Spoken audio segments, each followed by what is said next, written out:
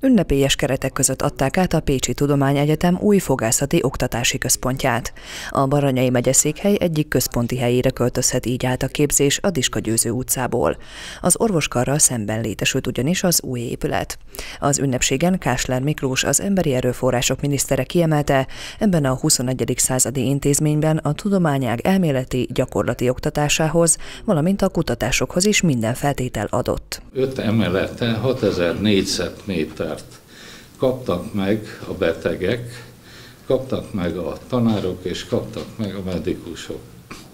46 ezer beteg ellátása történik ebben a épületben, 60 munkaállomáson, szemben a régebbi épület 42 munkaállomásával. A fogorvos képzés gerincét azok a munkaállomások biztosítják majd, melyek egy körpanorámás elrendezésben ölelik körbe szintenként a középső közlekedőt és betegvárót.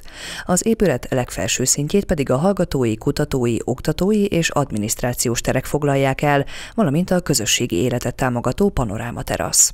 Az egyetemi modellváltásokkal kapcsolatos és a Pécsi Egyetemi modellváltással kapcsolatos lehetőségekkel élve a fogorvosképzés egy olyan irányban tud ellépni, hogy ugyan kézen fogva az orvos képzőkarral, de mégis egy relatív önállósággal tudja a jövőjét építeni. A kialakított épületgépészeti kapacitás akár 70 egység készülék üzemeltetését is biztosítani képes.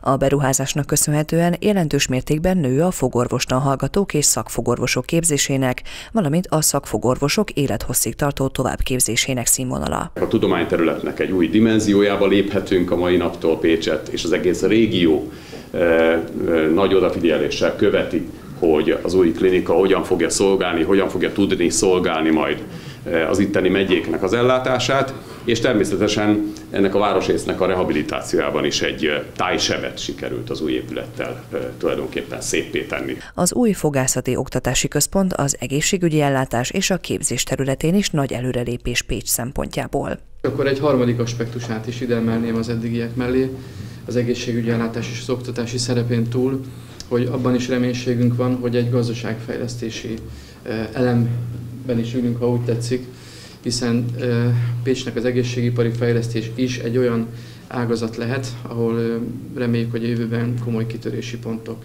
lehetnek. A 2022 nyarától teljes kapacitással üzemelő új létesítményt nem csak gyalogosan, közösségi közlekedéssel és kerékpárral lehet majd könnyedén megközelíteni, de az épület személygépkocsi forgalmát közforgalmi parkoló is segíti.